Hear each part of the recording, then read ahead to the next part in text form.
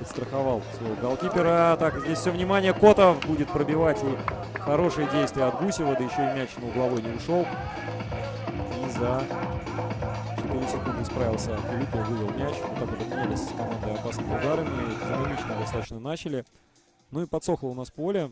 В течение сегодняшнего дня периодически